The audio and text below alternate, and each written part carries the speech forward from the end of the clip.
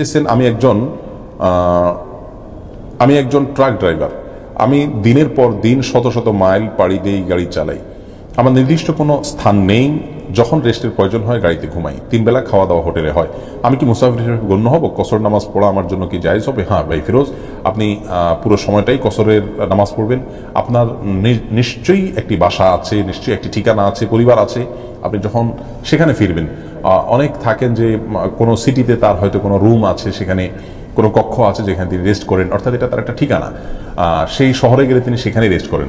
এরকম হলে সেই জায়গায় যখন থাকবেন, তখন তিনি মুসাফির হিসেবে গণ্য হবেন না। আদারওয়াইজ আপনি যতক্ষণ পর্যন্ত গাড়িতে থাকবেন, সেটা বছরকে বছরও যদি হয় মাসকে মাসও যদি হয়, তাহলে আপনাকে কসরের নামাজ সেখানে পড়তে হবে।